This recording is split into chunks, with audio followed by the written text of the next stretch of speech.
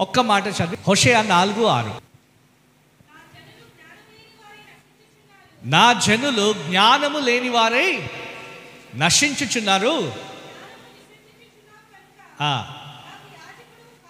ఆ. దేవుడైన యహోవా అంటున్నాడు. నా జనులు. అన్యజనాంగం గురించి మాట్లాడతలేడు ఆయన. తన ప్రజల గురించి మాట్లాడుతూ ఉన్నాడు. ఏమంటున్నాడు? నా జనులు జ్ఞానము లేని వారై నశించిపోతున్నారు. అంటే దేవుని ప్రజలమై ఉండి మనం నశించగలుగుతామా? అంటే అవును. ఎప్పుడు నశిస్తాము? జ్ఞానము లేని వారమైతే. జ్ఞానం ఏం బోధిస్తుంది మనని? వాక్యాన్ని ధ్యానించమని జ్ఞానం ఏం చెప్తుంది మనకి? దేవుని వాక్యాన్ని హత్తుకోమని యేసుప్రభు అన్నాడు ఓకే ఒకడు ఇసుక పైన తన ఇంటిని కట్టుకున్నాడు ఒకడు బండ పైన తన ఇంటిని కట్టుకున్నాడు. ఇసుక పైన కట్టుకున్న వాని ఇల్లు ఎన్ని రోజులు నిడిచింది కొన్ని రోజులే. తుఫాన్ రాగానే కూలిపోయింది. కానీ బండపైన తన ఇల్లు కట్టుకున్న వాని ఇల్లు నిలబడిపోయింది. ఏ తుఫానుకి కూడా అది కదిలిపోలేదు. ఎందుకు కదలలేదు అని అంటే నా వాక్యాన్ని విని దాని ప్రకారం చేయువాడు బండపైన తన ఇంటిని కట్టుకున్నవాడంట. హలెలూయ హలెలూయ అంటే వాక్యాన్ని చదివి వాక్యాన్ని విని దాని ప్రకారం చేసేటోడు ఎట్లాంటి పునాది మీద నిలబడ్డాడు? బండ అనే పునాది మీద నిలబడ్డాడు. క్రీస్తు అనే బండపై నిలబడ్డావు నేనేది? కదిలించలేదు. తుఫాన్ వచ్చినా కరోనా వచ్చినా ఏ భయంకరమైన గాలులు వీచినా నువ్వు నిలబడుకొనే ఉంటావు. ఆమె ఈ రాత్రి నీ జీవితంపై వెలుగు కలుగును గాక నీ పరిస్థితులపై వెలుగు కలుగును గాక నీ బంధకాలపై దేవుని వెలుగు ప్రకాశించునుగాక. నీ కుటుంబంపై దేవుని వెలుగు ప్రకాశించునుగాక. ప్రతి చీకటి తొలగించబడును గాక ప్రతి మాంత్రిక క్రియ తీసివేయబడును గాక ప్రతి రోగము మీ శరీరం నుండి బయటికి వచ్చును గాక. ఇక్కడ నేను చూస్తా ఉన్నా మీలో చాలామందికి కీళ్ళ నొప్పులు. కీళ్ళ నొప్పులమ్మా మోకాలు నొప్పులు నడుము నొప్పులు కీళ్ళల్లో నొప్పులు కనబడతా ఉన్నాయి. చాలామంది ఒకసారి చేతండి ఎంతమందికి మీ శరీరంలో నొప్పులు ఉన్నాయి కదా చెప్పలేదా? చాలామంది నొప్పులతో బాధపడుతుంది ఈ కాంగ్రిగేషన్లో. నొప్పులు చూస్తూ ఉన్నాయి ఎముకలు అరిగిపోవడము భుజాలు పనిచేయకుండా భుజాల నొప్పి మెడల్లో నొప్పులు నడుముల్లో నొప్పులు మోకాళ్ళలో నొప్పులు ఈవెన్ నడుస్తుంటే కూడా పాదాల్లో నొప్పులు కూడా ఉన్నాయి చాలామందికి ఇక్కడ. థ్యాంక్ యూ హోలీ స్పిరిట్ ఏ రుగ్మతైనా రబా సతబా షరబా హురబా హసతబాష రిబా హదబా హసతబాష రెందల హసబా శిఖతబా ఏసు నామంలో ఏసు నామంలో ఏసు నామంలో శరీరంలో ఉన్న ప్రతి నొప్పి ఎముకలను అరగదీస్తున్న ప్రతి ఒక్క దురాత్మ ఎముకల్లో నొప్పులు కలగజేస్తున్న ప్రతి దురాత్మ చీకటి ఏసునామంలో బయటికి వచ్చును గాక. నీ శరీరాన్ని విడిచి అది బయటికి వచ్చును గాక. నీ కడుపులో ఉన్న ఏసు నామంలో ఆ నొప్పి బయటికి వచ్చును గాక. నీ తలలో ఉన్న నొప్పి ఏసు నామంలో బయటికి వచ్చును గాక. ప్రభు స్వస్థత ఆయన సన్నిధి ఆయన ప్రభావము. ఎన్నో ఈ ప్రాంగణం అంతా విడుదలైతా ఉంది. అమ్మ చేతులు ఎత్తి కళ్ళు మూసుకొని ఏసయ్య నన్ను ముట్టని అడిగి ఈ సమయంలో. ఏసయ్య నన్ను ముట్టు. ఏసయ్య నన్ను ముట్టు. ఏసయ నన్ను ముట్టు. ఏసయ నన్ను ముట్టు. నిరాకారంగా శూన్యంగా చీకటితో ఉన్న ఆ భూమిపై ప్రభు ప్రకటించినాడు. వెలుగు కలుగును గాక. ఈ రాత్రి నీ శరీరంపై నీ ఎముకలపై ఆయన వాక్యపు వెలుగు ప్రకాశించును గాక. నజరేయుడైన యేసు నామములో మన కొరకు రెండు వేల సంవత్సరాల కిందట శిలువలో గాయపరచబడి నా గాయముల ద్వారా మీకు స్వస్థత అని సెలవిచ్చిన ఆ యేసు నామములో ఇక్కడున్న ప్రతి శరీరము బాగుపడును గాక. సో పాపాలు పోయినాయని నమ్ముతున్నాము శాపాలు పోయినాయని నమ్ముతా ఉన్నాము పరిశుద్ధులమైనమని నమ్ముతున్నాము. మరి పరిశుద్ధుల స్వాస్థ్యం ఏది? మరి నువ్వు పరిశుద్ధంగా మారిపోతే పరిశుద్ధుడవైతే ఆ స్వాస్థ్యం ఏది? అబ్రహాము దీవెన నీ జీవితంలో కనబడాలా? అబ్రహాము దీవెన నీ జీవితంలో కనబడాలా? మరి ఏదా దీవెన? ఎందుకు కనబడతలేదు ఆ దీవెన? ఎందుకనంటే వాక్యాన్ని ధ్యానించట్లేదు కాబట్టి. తనను తాను వాక్యానికి అప్పచెప్పుకున్నవాడు అబ్రహాము దీవెనలు తన జీవితంలో చూస్తాడు. ఎంతమంది కొంది మీ జీవితంలో అబ్రహాం దీవెన చూడాలని? వాక్యం చూపించాలా గలతి ఐదో అధ్యాయము పదమూడు పద్నాలుగు. చదవండి. ఆత్మను గూర్చిన వాగ్దానము విశ్వాసము వలన మనకు లభించినట్టు అబ్రహాము పొందిన ఆశీర్వచనము క్రీస్తు యేసు ద్వారా అన్యజనులకు కలుగుటకై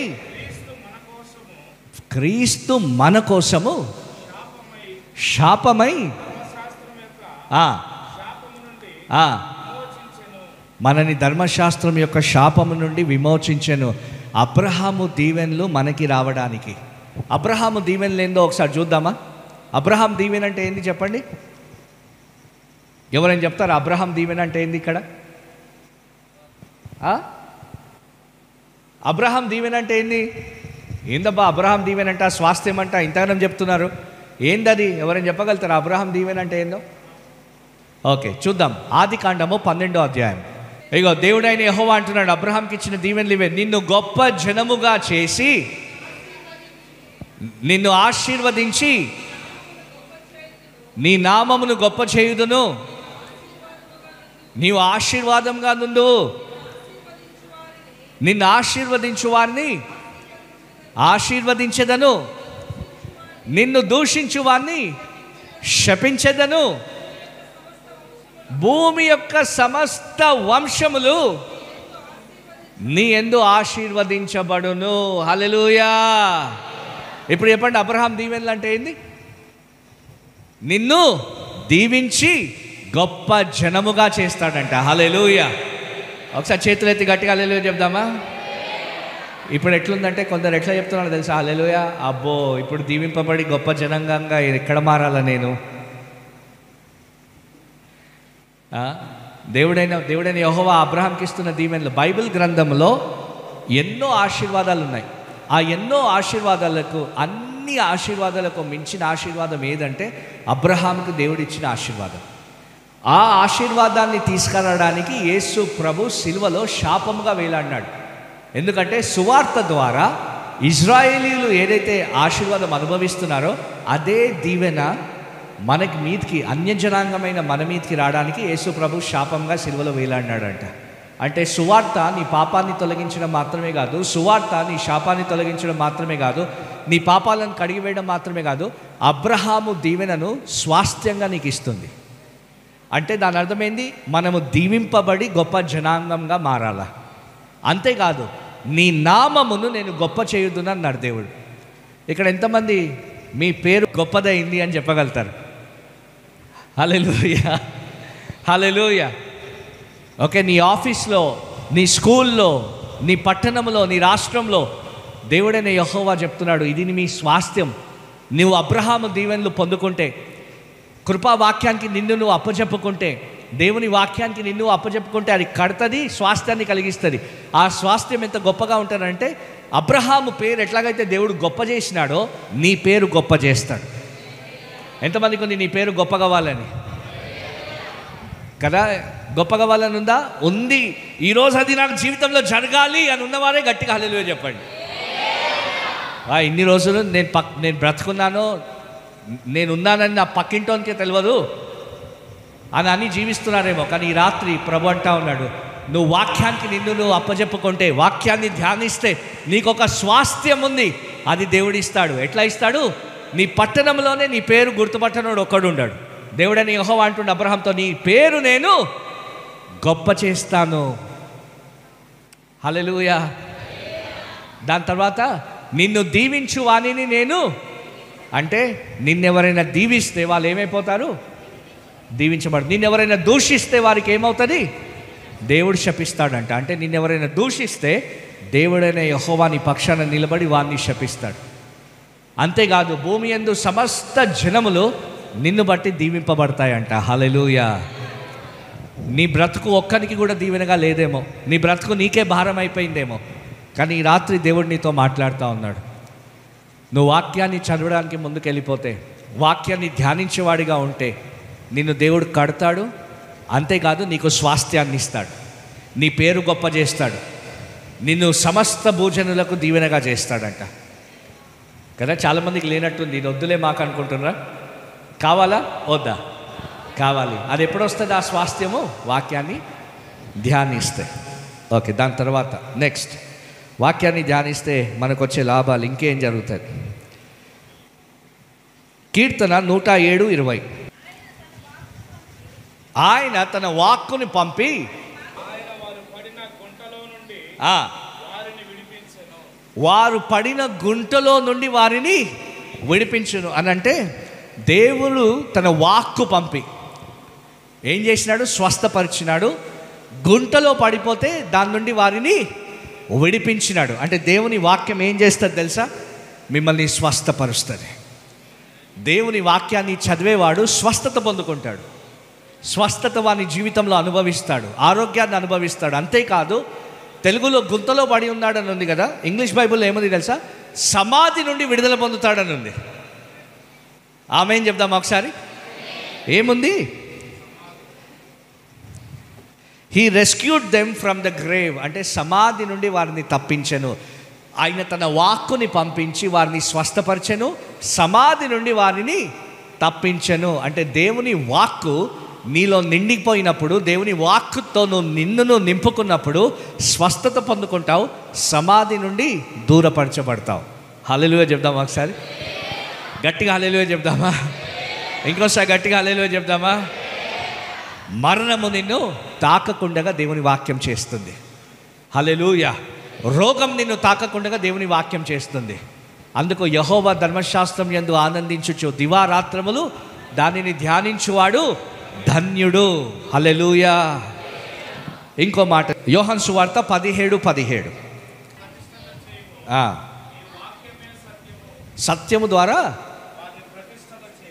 వారిని ప్రతిష్టత చేయుము.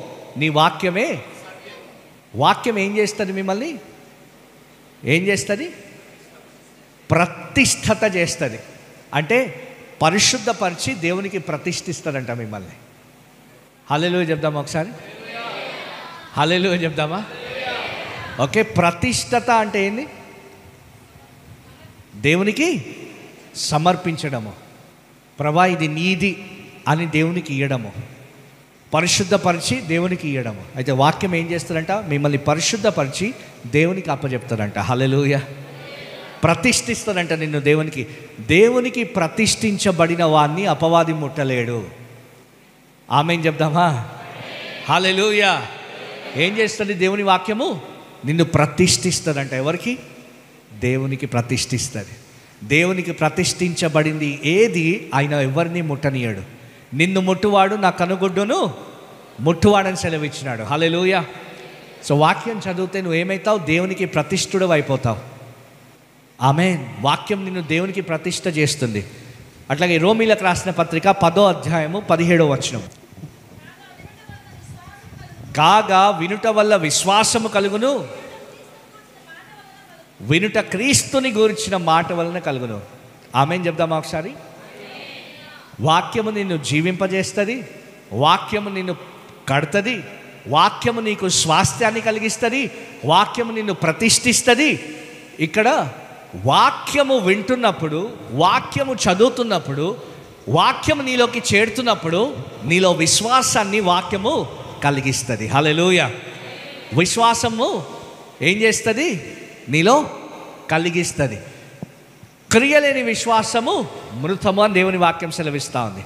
విశ్వాసము ద్వారా ఏం చేసినారు? దేవుని ప్రజలు సింహాల నోర్లను మూసేసినారు. విశ్వాసం ద్వారా ఖడ్గాన్ని తప్పించుకున్నారు. విశ్వాసము ద్వారా సమాధిని జయించినారు.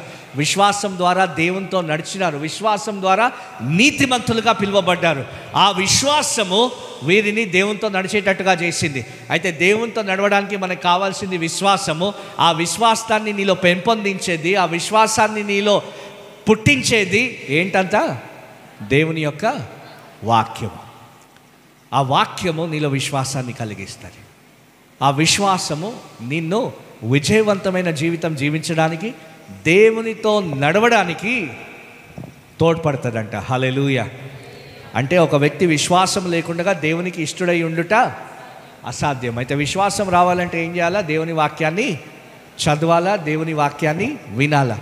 ప్రకటన గ్రంథంలో చదివినాం కదా మొదటి అధ్యాయము మూడో వచనము. ఈ ప్రవచన వాక్యమును వినువాడు ఈ ప్రవచన వాక్యాన్ని చదువువాడు ఈ ప్రవచన వాక్యాన్ని గ్రహించువాడు ధన్యుడు. హలెలూయ ఈ రాత్రికాలము ప్రభు మీతో మాట్లాడుతున్నాడు. నా వాక్యానికి నిన్ను నువ్వు అప్పచెప్పుకో. నా వాక్యము నిన్ను నింపునుగాక. నా వాక్యము నీలో నిండుగా ఉండునుగాక. కొలసి మూడు పదహారు.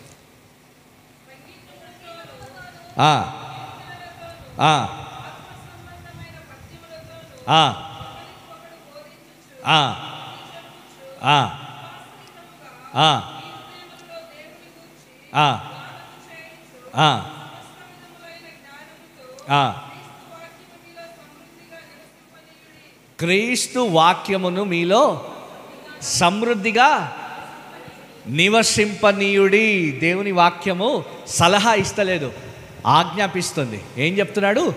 క్రీస్తు వాక్యము మీలో సమృద్ధిగా నివసింపనీయుడి. అంటే దాని అర్థం ఏంటి? నివసింపనీయుడి అంటే అది నువ్వు మాత్రమే చేయగలుగుతావు. దేవుడు నీకు చెప్తున్నాడు సమృద్ధిగా వాక్యము నివసింపనీయి. సమృద్ధిగా వాక్యముతో నిండిపో. సమృద్ధిగా వాక్యంతో నిన్ను నువ్వు నింపుకో అని దేవుని వాక్యం ఆజ్ఞాపిస్తూ ఉంది. ఆ పని నువ్వు చేసినట్లయితే ఏం జరుగుతుంది? నీకు స్వాస్థ్యం విడుదలవుతుంది. సమాధి నుండి తప్పించుకుంటావు జీవిస్తావు. విశ్వాసంతో ఎప్పుడు పురికొల్పబడి విశ్వాసంతో రగిలి దేవునితో నడిచే వ్యక్తిగా మారిపోతావు. ఎప్పుడు నువ్వు ప్రార్థన చేసినా కూడా విశ్వాసంతో నీకు జవాబు వస్తుంది. వాక్యంతో నిండిన వాడిగా నువ్వు జవాబు కొరకు ఎదురు చూడాల్సిన పని లేదు. వాక్యంతో నిండిన వాడిగా నీ మనస్సులో చిన్న ప్రార్థన చేసినా కూడా పరలోకం నుండి దేవుడు జవాబిస్తాడు. నాకు మొరపెట్టుము నేను నీకు ఉత్తరం ఇస్తాననే మాట నీ పట్ల నిలబెడుతుంది. అడుగుడి మీకు ఇయ్యబడును వెదుకుడి దొరుకును తట్టుడి తీయబడును. అక్కడే జరిగిపోతుంది. హలెలూయ హలెలూయ సో ఈరోజు ఈరోజు ఒక తీర్మానం నువ్వు తీసుకోవాలి దేవుని సన్నిధిలో. అదేంటంటే నిన్ను నువ్వు దేవుని వాక్యంతో నిండిపోవాలి. క్రీస్తు వాక్యము సమృద్ధిగా మీలో నివసింపనీయుడి. వాక్యము సమృద్ధిగా నీలో ఉండాలి. వ్యక్తిగతంగా ధ్యానించాలా. దేవుని మాటతో నిండిపోవాలా. హల్లెలూయా చెప్దామా? అప్పుడు దరిద్రత నీ జోలికి రాదు. బలహీనతలు నీ జోలికి రావు అపవాది నీ చోటుకి రాడు. ఎందుకనంటే దేవుని వాక్యము వెలుగై ఉన్నది. దేవుని వాక్యం ఏమై ఉన్నది? వెలుగై ఉన్నది. దావీద్ అంటాడు కదా నీ వాక్యము నా త్రోవకు వెలుగు నా పాదములకు దీపము. దాని అర్థం ఏంటో తెలుసా మీకు? వాక్యంతో నిండుకున్నవాడు ఎప్పుడు పడిపోడు. ఎందుకు పడిపోడు? ఆయన వాక్యం ఏమవుతారంట నీ త్రోవకు వెలుగు నీ పాదములకు నువ్వు ఎక్కడ అడిగేస్తావో వెలుగులో అడిగేస్తావు.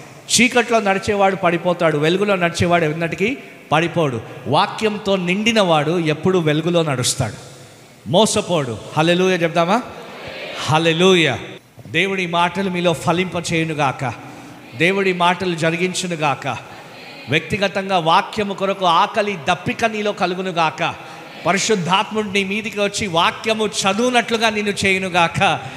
క్రీస్తు వాక్యము నీలో సమృద్ధిగా నివసింప చేయునుగాక హల్లెలుయ చెప్దామా? అందరూ ఇటువైపు చూసి. యేసు ప్రభుకి గట్టిగా హల్లెలుయ చెప్దామా ఒకసారి? ఎంతమంది ఈ రోజు నుండి నీ జీవితం మారుతుందని నమ్ముతున్నారు? ఎందుకు? ఎందుకు? నువ్వు వాక్యంతో నిన్ను నువ్వు నింపుకోబోతున్నావు కాబట్టి. నీ భవిష్యత్తు బాగుంటుందని ఎంతమంది నమ్మబోతా ఉన్నారు? నీ భవిష్యత్తు ఎక్కడుంది? వాక్యంలో ఉంది. నీ స్వాస్థ్యం ఎక్కడుంది? ఎంతమంది మీ పిల్లలు గొప్పవారు అవ్వాలని ఉంది? వాక్యము చదువు అని పిల్లలు ఏం చేస్తారు? దేవుని ఆశీర్వాదం అనుభవిస్తారు. ఆ స్వాస్థ్యాన్ని అనుభవిస్తారు. ఆమెన్. ప్రభా ఈ రోజు నుండి నేను వాక్యం చదవాలి. వాక్యం పట్ల ఆకలి కలిగించినాలో వాక్యం పట్ల దప్పిక కలిగించినాలో ప్రభా నీ వాక్యము ధ్యానించే కృప నాకు దయచేయి. వాక్యం చదివే కృప నాకు దయచేయి. నా స్వాస్థ్యము నేను పొందుకునే కృప నాకు దయచేయి. ప్రభా నేను పేదవాడిగా ఉండకూడదు రోగిగా ఉండకూడదు దరిద్రతలో ఉండకూడదు. ప్రభా బలహీనుడిగా నేను ఉండకూడదు. నైనా గొడ్రాలుగా నేను ఉండకూడదు. ప్రభా దీవెన లేనివాడుగా నేను ఉండకూడదు. నీ స్వాస్థ్యము నాకు దయచేయి ప్రభా. చేతులెత్తి అందరూ మొరపెట్టండి. పరిశుద్ధుల స్వాస్థ్యము పరిశుద్ధులకు విడుదలవునుగాక నీ స్వాస్థ్యము నీకు విడుదలవునుగాక దేవుని ఆశీర్వాదము అబ్రహాము దీవెన నీకు విడుదలవునుగాక. ఏసునామము జయం జయము. సాతాను శక్తి. లయం లయము. ఏసునామము జయం జయము. సాతాను శక్తి.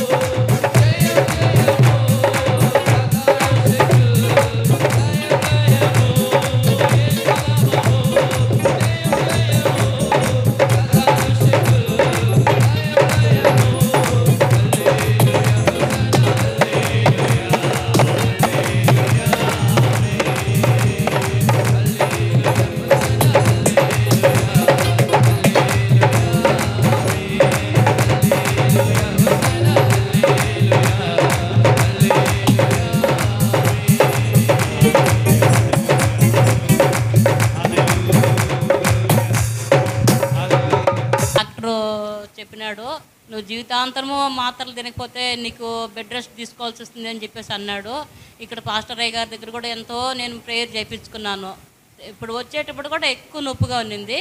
దేవుడు నాకు ఇక్కడ కొంచెం గడ్డగా కూడా ఉన్నింది. ఆ గడ్డ ఇప్పుడు లేదు. దేవుడు నన్ను స్వస్థపరిచినాడు నొప్పి లేదు. నా ఏసైకి మహిమ కలిగిన కాక ఎన్ని రోజులకు ఉండే అమ్మ గడ్డ? సార్ ఏడెనిమిది నెలల మంటి ఉంది సార్. ఏడెనిమిది నెలలుగా. అంతేగాక వెన్నుపూసలో కూడా నొప్పి ఉండే. నొప్పి కాదు సార్. ఇప్పుడు ఏ- ఏం చేయలేకపోయేదానివమ్మ వెన్నుపూసతో? ఆ, వంగి- వంగి లేసి ఏం ఇప్పుడు చేయలేకపోయినా వంగమ్మ? ఇప్పుడు బాగుంది సార్. వంగమ్మ లేవండి. బాగుంది సార్. మళ్ళీ ఒకసారి వంగండి. మళ్ళీ. నొప్పి ఉందా నొప్పి లేదు సార్. బాగుంది. ఆ గడ్డ కరిగిపోయింది నొప్పి బాగైపోయింది. చప్పట్లు కొట్టి ప్రభుకు స్థుతి చెల్లిద్దాం. దేవుడు నమ్మిన తర్వాత నుంచి కూడా మరి ప్రార్థన ప్రార్థన యొక్క విలువ మరి మా యొక్క ఆత్మీయ తండ్రి తెలియచేస్తూనే వస్తూ ఉండేవారు. అయితే నాకు మరి మా అత్తగారు కూడా మంచి ప్రార్థనా పర్రాలు ప్రార్థన కలిగిన కుటుంబానికి నేను వెళ్ళాను. అయితే నాకు ఒక ప్రశ్న అప్పటి నుంచి మరి నా యొక్క హృదయంలో ఉన్నింది. అది ఏంటంటే మరి ప్రార్థన మనము గంటలు గంటలు చేస్తూ ఉన్నాం. మరి దేవుని యొక్క మరి పరిచర్యలో అన్నిట్లో అన్ని విషయాల్లో మనము బాగున్నాము వెళ్తున్నాము వస్తున్నాం. అయితే ఆశీర్వాదం అన్నది రాలేదు. ఎందుకనేది? ప్రశ్న నా హృదయంలో మిగిలిందండి. నేను చాలా ప్రార్థనలకు వెళ్తున్నాను వస్తున్నాం మేము పరిచర్యలో. మరి పరిచర్య చేస్తున్నాం సార్ మేము. మరి ఈ విధంగా వెళ్ళేటప్పుడు నేను ఇక్కడికి వచ్చేటప్పుడు కూడా మరి స్వస్థత ప్రార్థనలు అన్నారు కాబట్టి అంటే మన ఆలోచన ఇంకా స్వస్థత మీదనే ఉంటుంది అనేది ఒక మరి భావన నాలో నింది. అయితే నేను ఇక్కడికి వచ్చి కూర్చున్నాను. గత వారం నుంచి కూడా నన్ను ఆ ప్రశ్న ఎక్కువగా వేధిస్తూనే ఉంది. ఏంటంటే ఎందుకు ఆశీర్వాదం మనకి రావటం ప్రార్థన చేస్తున్నాము స్తుతిస్తున్నాము ఆరాధన చేస్తున్నాము అన్నీ చేస్తున్నాము. ఆశీర్వాదం అనేది మన యొక్క విశ్వాస జీవితాల్లో ఎందుకు రావట్లేదు? ఎందుకు ఆగి ఉన్నది? మరి చూస్తూ ఉంటే మరి అన్నీ యథార్థంగా ఉన్నాం యథార్థంగానే బ్రతుకుతున్నాం నీతిగానే ఉన్నాం. ఆశీర్వాదం అన్నది ఎందుకు రాలేదు? అనే ప్రశ్న నన్ను చాలా సంవత్సరాలుగా మరి గత వారంగా ఇంకా ఎక్కువగా వెంటాడుతున్నాను ఇక్కడికి వచ్చి కూర్చొని నేను రెండు నిమిషాలు కన్నీరు కాచాను. పాస్టర్ గారు చెప్పారు దేవుడు నాతో మాట్లాడాలి అని హృదయపూర్వకంగా మరి మీరు కన్నీరు కార్చి ప్రార్థన చేయండి అన్నప్పుడు మరి నేను అలాగే కన్నీరు కార్చాను ఏడ్చాను ప్రభువా. నా యొక్క ప్రశ్నకు సమాధానం నాకు కావాలి అని నేను ఏడ్చినానండి. మరి నేనే కాదు మేమే కాదు ఇంకా చాలామంది కూడా ఇలాంటి స్థితిలోనే ఉన్నారు. అని నేను మరి కన్నీరు కార్చి ప్రార్థన చేశాను. ఆశీర్వాదం అన్నది రాలేదు. మరి ఎందుకు ప్రభు అనేది ఆ ప్రశ్నతో నేను నిజంగానే కూర్చున్నానండి ఇక్కడ కూర్చునేటప్పుడు. అయితే మరి ప్రారంభంలోనే మరి పాస్టర్ గారు చెప్తున్నారు మీతో దేవుడు మాట్లాడుతున్నాడు ఖచ్చితంగా. మీరు స్వీకరించాలి అన్నప్పుడు నేను హృదయపూర్వకంగా నాతో ఈరోజు నువ్వు మాట్లాడు ప్రభా. ఖచ్చితంగా నువ్వు మాట్లాడకపోతే నా ప్రశ్నకు సమాధానం రావాలి అని నేను ఇక్కడ కూర్చొని నిజంగా కన్నీరు కార్చి అక్కడ కూర్చొని ఏడుస్తున్నాను. ఏడుస్తున్న వెంటనే మరి పాస్టర్ గారు చెప్తున్నాడు మనం ఆశీర్వదించబడడానికి ఆశీర్వదించబడకుండా ఉండడానికి కారణాన్ని నిన్న చూపించాడు. మరి ప్రార్థన చేస్తున్నాం స్థుతిస్తున్నాం ఆరా అన్ని విషయాల్లో బాగానే ఉన్నాము. ఎందుకు ఆశీర్వాదం రాలేదని ఆ ప్రశ్నకు నిన్న సమాధానం నాకు దొరికింది. ఈరోజు కూడా నేను దేవుని సన్నిధిలో గడిపి ప్రార్థనతో పూర్వకంగా ఇక్కడికి వచ్చినప్పుడు ఇంకా మరి మనకు ఆశీర్వాదానికి ఎన్ని మరి అనుభవాలు ఉన్నాయో మరి ఎలా ఆశీర్వదించబడతామో వాక్యము ద్వారా అనేది నిజంగా నేను ఇక్కడ వినలేదు వాక్యాన్ని. అయితే ఇప్పుడు నిన్న ఈరోజు ఆ యొక్క ఆశీర్వాదం గురించిన రహస్యాన్ని దేవుడు నాతో మాట్లాడాడు. మరి దేవుడికి స్తోత్రం. ఈ యొక్క మరి ప్రశ్నకు దేవుడు నాకు సమాధానాన్ని రెండు రోజుల్లో ఖచ్చితంగా దేవుడు ఇచ్చాడు. అందుని బట్టి దేవునికి కృతజ్ఞతలు. దేవుడికే వందనాలు. సేవకులకి వందనాలు. ప్రతి ఒక్కరు ప్రతిరోజు వాక్యం చదువుతాం ద్వారా అనేక అద్భుతాలు మీలో మీరు చూడగలుగుతారు దీవెని చూడగలుగుతారు. చివరి ప్రార్థన చేసి ముగిద్దాం. అందరు మీ కళ్ళు మూసుకొని చేతులు ఎత్తండి. Holi spirit hallelujah